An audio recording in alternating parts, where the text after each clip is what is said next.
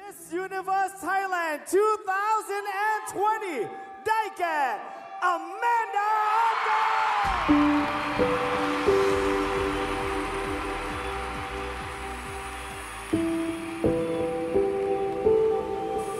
ด้าเติบโตมากับเสียงคลื่น เสียงทะเล แม่เคยเล่าว่าตอนที่ด้าเกิดอะเกิดแค่ไม่กี่วันพอออกจากโรงพยาบาล คุณพ่อก็พาไปลงทะเลเลย ชีวิตของด้าตั้งแต่วัยเด็กจะมีแต่ธรรมชาติ ความประชนภัย เพราะว่าด้าก็มีน้องชายคนหนึ่งที่จำได้ว่าตอนเด็กๆเนี่ยชอบไปปั่นจักรยานกัน กลับมาก็คือเข่าทั้งสองคนเลือดเต็มหมดเลย เพราะว่าไปล้มมาค่ะ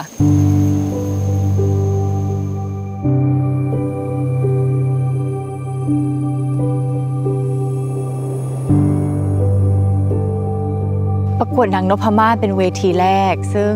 แน่นอนว่าถ้าใครอยู่ต่างจังหวัดเนาะลอยกระทงก็จะต้องมีแบบเวทีนางนพมาศคุณแม่ก็มีสายสะพายค่ะ ฉันธนาบิวตี้ส่งเข้าประกวด เห็นตอนนี้ก็ยังขำเพราะว่าหน้าด้าเนี่ยบึ้งมาก ก็มันเป็นอารมณ์แบบขำๆเนาะแบบเออเราทำอะไรลงไป มันก็เป็นประสบการณ์ใหม่แหละ แต่เราก็แบบทำไมมันมีบังคับเออ ความฝันวัยเด็กไม่เคยมีแบบนางงามเลย เพราะว่าเป็นคนโลดโผนไงคะและเราไม่เคยคิดว่าเราประกวดได้ เพราะว่าเราไม่ใช่แบบ beauty standard แบบไทย เราไม่ได้ขาว เราไม่ได้ตัวเล็ก เราตัวค่อนข้างสูงด้วยใหญ่ด้วย ไม่เคยคิดว่าลุคแบบเราอะ่ะ มันจะสามารถประกวดนางงามได้ ถ้าสมัยนั้นนะ เราจะคิดว่าแบบผู้หญิงที่แบบอ่อนหวาน ยิ้มตลอดเวลา รักเด็กมันก็เปลี่ยนนะคะ พักหลังๆอะค่ะ เราเห็นว่านางงามอะเป็นผู้หญิงที่สตรองมาก คนที่ได้แต่ละคนอะเขาดูฉลาดจังเลย เขาดู empowering จังเขาดูแบบ inspiring จังเลย เราอยากลองเป็นแบบเขาบ้างอะคำพูดของคนคนหนึ่งตอนนั้นน่ะมันทำให้เราสามารถมองตัวเองในกระจก แล้วก็ไม่ชอบตัวเองได้ ช่วงนั้นน่ะเหมือนเราฟรีในเรื่องอาหารอะขึ้นประมาณ 15-20 โลเลย แล้วตอนนั้นเดินเดินกับน้องไปเซเว่นแล้วเหมือนมีป้าข้างบ้านนะคะตะโกนบอกว่าไปกินหรือไปเรียนที่แคนาดาทำไมอ้วนขนาดนี้ แล้วเรารู้สึกจุกแต่จุกที่สุดก็คือ น้องชายอะเหมือนแบบมาตบหลังเราแล้วก็บอกว่า it's okay แบบไม่ต้องไปแคร์เขา เราก็เลยกลับมารู้สึกว่า หรือว่านี่คือคำพูดที่น้องชายได้ยินตลอดทั้งชีวิต นี่คือสิ่งที่เขาต้องได้ยินตลอดเวลาเลยเหรอ พอกลับไปแคนาดาเราก็เลยเหมือนบอกตัวเองว่าโฟกัสเรื่องลดน้ำหนัก สักพักหนึ่งเราเริ่มเหมือนมี relationship กับอาหารที่มันมันแย่ลงอะมันเหมือนมีตัวละครอยู่ที่ตรง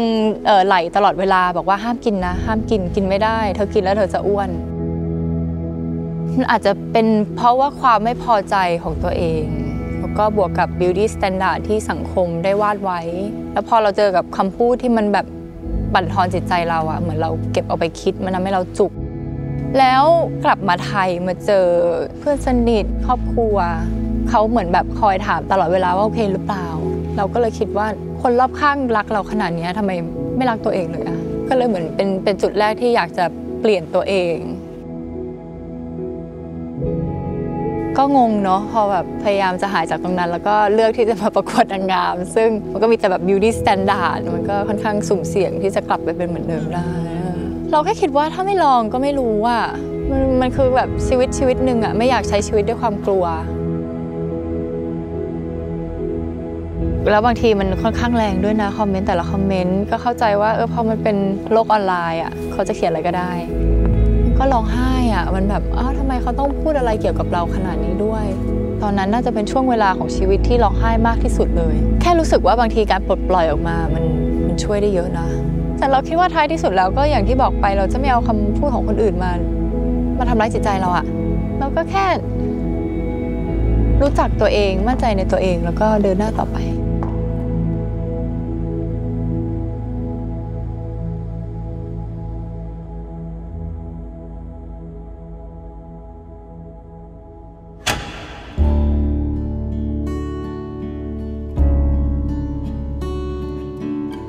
คือเรามองว่าทุกคนไม่มีใครเพอร์เฟกแต่เราสามารถพัฒนาตัวเองได้อะ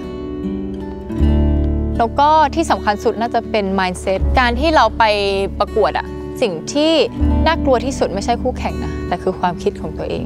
เราต้องเหมือนแบบทำให้ mindset เรา strong ให้ได้ โดยที่ไม่ไปเปรียบเทียบกับคนอื่น Miss Universe Thailand 2020, Amanda. พอเขาประกาศ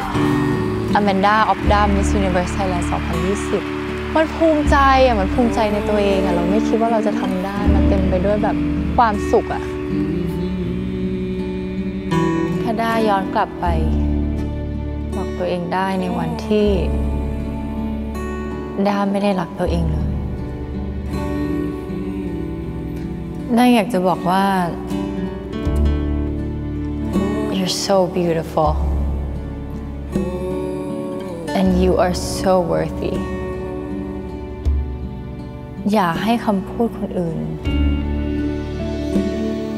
ทำให้เราไม่เห็นความสำคัญของตัวเอง Always believe in yourself and what you're capable of. And know that you matter no matter what.